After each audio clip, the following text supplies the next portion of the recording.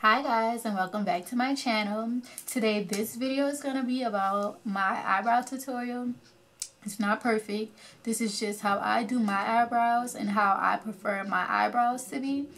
Um, everything that I used in this video, um, I just got it from a drugstore.